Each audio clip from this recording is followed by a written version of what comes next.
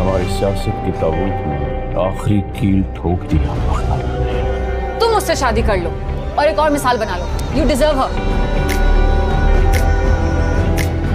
अपनी बेटी को लेकर मेरे बेटे की ज़िंदगी से बहुत दूर चली जाओ।